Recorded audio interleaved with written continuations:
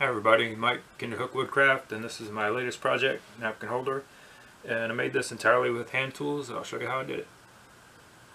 You might have seen on my website I have a picture of one of these I made several years ago and it's a little bit different because I made it with power tools and there's an ogee profile around the base and the corners are clipped and it's a little fancier but uh, I think this one looks pretty nice and I'm, I'm happy with it. Alright, so to show you how I figured out what the size of this wants to be, just take a napkin, this is a regular standard napkin, and by the way, they don't, they're not exactly square. It's a little bigger than six, it's like six and an eighth right there, and six inches right there, so I don't think it matters which way you do it. The way I did it was just so that the fold is uh, when you pull it out it's on the outside. So that means that the six the long side is in between the uprights. So I just really I just I took a napkin and put it on a board and figured out uh, you know I want a little bit of space in between here so there's a little bit of wiggle room. So I left an eighth of an inch to either side of the napkin then of course the three quarter for the uprights. And I want it about a quarter of an inch or something all the way around it because I'm going to put a round over on it so what I ended up with here is eight and a half and six and three quarters. And then these pieces end up being four and a quarter. You can change that height if you don't want it so tall. You can make it taller or shorter, it doesn't matter. But what I did was four and a quarter and two and a quarter. And that two and a quarter is so that I can leave three quarters of an inch here. I cut all this away and I'll leave three quarters of an inch there. And to get this distance I wanted to leave three quarters of an inch right there so that it's a consistent three quarter all the way around. And then I'm just gonna, since this is a three quarter inch notch, this is a three quarter inch uh, arc. So half of three quarters of an inch is three eighths. So I'll come down three quarters plus 3 eighths and I'll make a mark and I can set my dividers at 3 eighths of an inch and just finish that. And if you have a compass, you know, you can use that or you can just scratch it in with this divider. I've bought, I don't know how many pairs, uh, or I don't know if you call it a pair, but compass. And this is dividers, obviously. Dividers have points, compass has the pencil. And I don't know where they go. I lose them. I put them, I use them sometimes outside of the shop drawing stuff and I, I just lose them. So I'm not buying another pair. And what I'll do is I'll, I'll just, I'm just going to tape this pencil right to one of the legs. And there you go, instant compass. And I'll take my marking gauge set at 3 quarters and I'll mark these lines all the way around it like that. Now here I just wanted sort of a gentle kind of arc at the top rather than having it being round. I thought it would look better so I, I just measured down from the corners 3 eighths of an inch on either side and then I just sketched it in. And I'm going to smooth that out with hand tools so you know that doesn't have to be a perfect arc or whatever. Okay, so I'm gonna mark, I'm gonna go ahead and cut the tenon beforehand. And I'm going to mark this at 3 16ths of an inch. So I'm just going to come right around it and score a shoulder line. Now I'm going to make the tenons a half inch. I'm going to use this chisel to cut the mortises in the base plate. So I want, I want my, my tenons to be this wide. I'm going to give it a, just a quick little mark there. And there and I'll check that. And that's just about I don't know if you can see that. This is my marking gauge line. And I want to make sure that the mortise I'm chiseling out is going to match that. I'll go ahead and scribe this all across too. I hope this makes sense to you. I know some of you it will some of you it won't. But you'll see what this is all about here in just a minute as soon as I cut all this out and now I'm going to chisel this away. So I'm going to deepen these lines just a little bit more.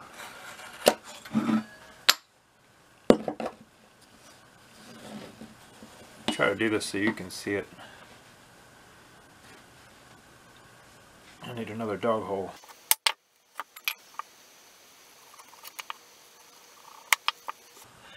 I was trying to figure out a good way to hold this and show you what I'm doing at the same time.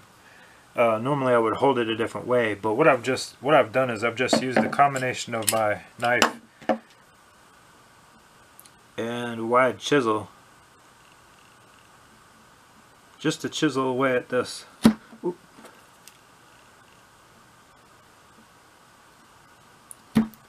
Until I get it fairly close to where I want it. And I'm not using a hammer because the stuff is so soft.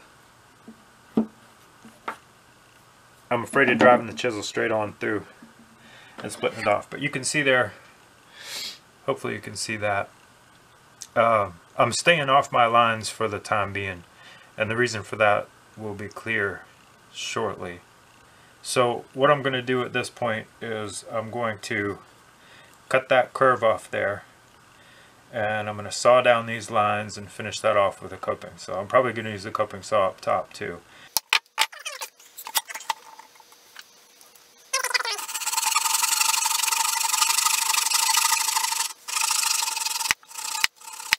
And then I'll actually carve a little V in there and you've probably seen other people do this as well.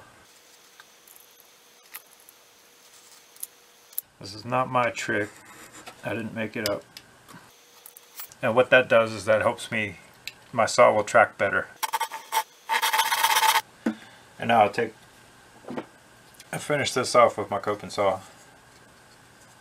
And I'll get the blade started. I'm going to have to turn him. And then I'll set it in the vise.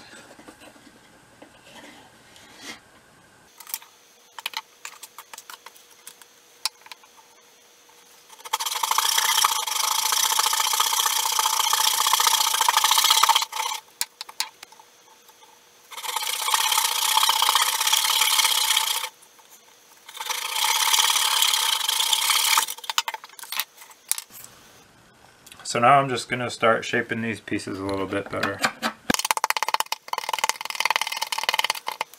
Okay, so this is what I've ended up with.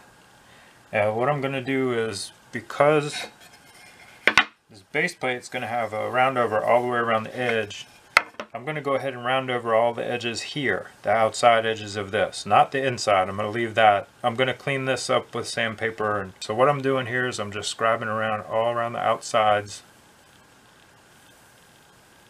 and I'll do it this way as well just to give me a guide something to work with and I'm going to go around this thing with uh, probably a combination of my block plane and the and my number four hand plane and just sort of start working it until it looks good.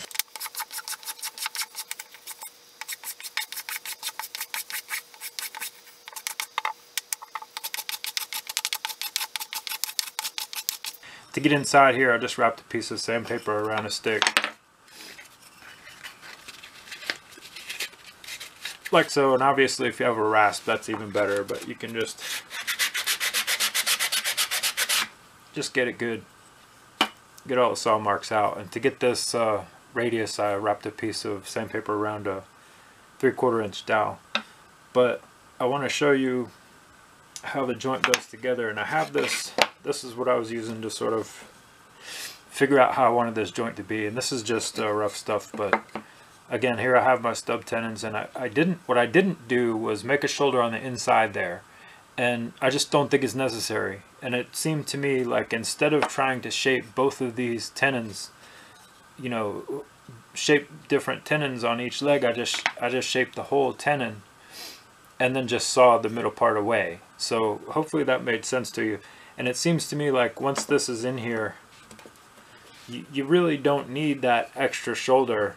And since it's on the inside, um, you really won't notice it if you don't get that joint real pretty. Um, I think you'll find out that that this is probably the easiest and best way to go about this if you're going to make one of these for yourself. Like I said, I wanted to leave a quarter of an inch here for because I'm going to put the round over in. And so I found the center here. And these two points represent the three quarters of an inch in between. And then I added this eighth of an inch, which is what this um, shoulder is. So this is three eighths of an inch off of the edge. And what I'll do here is, I hope you can see this, is I'm going to set the legs right up against that line and they're going to straddle these two points. So if you understand what I did, that, that centers the upright and it puts it on the, it puts the tenons on this line. And there once again, I'll probably just put a little pencil mark, you know, where, where I know the tenons are and I can go from there. So here's my mortises laid out and you can see that I'm just going to stay right inside that line and inside that pencil line. I just went off the chisel and use my marking gauge to mark those lines and I'll just chisel it out.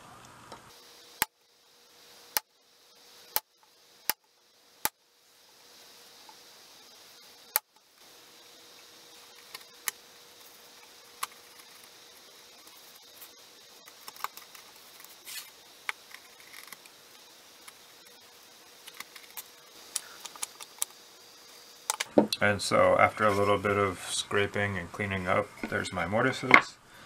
And of course I have this marked front left. And this is what I'm calling the front of my piece. So you can see that this is very tight. Pretty good. I'm very happy with that. And I want to say that I did have to shave just a little bit off of this back tenon um, and I'm sorry, I apologize for not showing that, but I got lost in the moment. It's always really exciting when you get, you know, to the end here, and all you have to do is fiddle just a little bit. So I, I literally just took a little sliver off of this side, and it went right in. And I want to mention, you know, if you're new to joinery or handwork or woodworking at all, you should always make your tenons or, you know, joints like that a little bit bigger than what you think they need to be because it's always going to surprise you when your joint is too loose and it's very discouraging. I'm going to finish shaping these parts, sanding them down a little bit, and I'm going to go ahead and plane off my round over here. I need to clean this edge up real quick with my hand plane. So now I'm going to go around this with my round over and I'm just going to do this thing again. And this is just a guide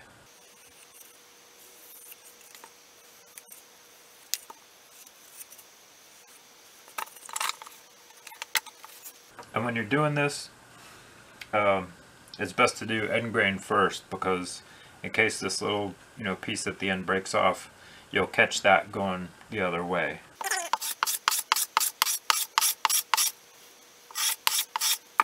And just like I did with the dowel, in order to make that round shape, I'm starting with the chamfer here. And then I'll just work these corners, I'll just keep sort of changing my angle and going around it until it's round.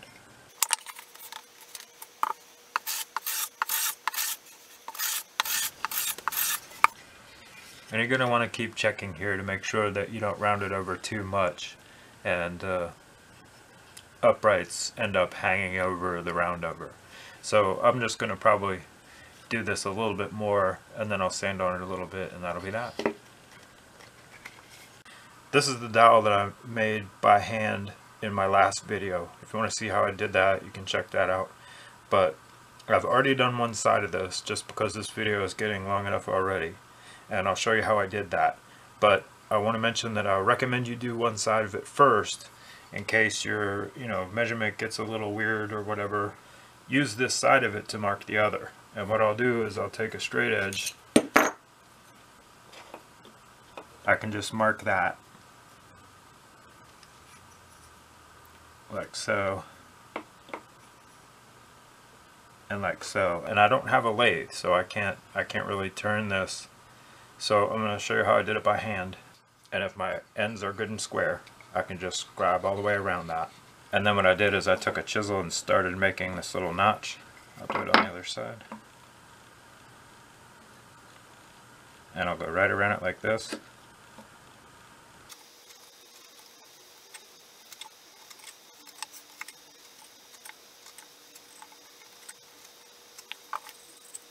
And once I have that little notch started, I'll put it in my fancy cradle and I'll just cut down it.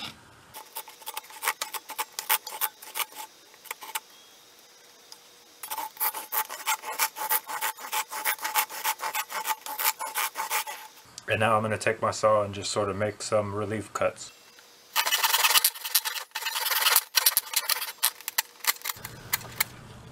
So now I've got this, I've got this shaped where I want it, and I'm just going through and just sort of trimming little bits here and there where it doesn't look, you can just sort of eyeball it and see whether it's close. And the other thing is just take, take your upright and make sure it's a little loose like this, side little side to side action, and make sure it can spin freely all the way up and down in the upright.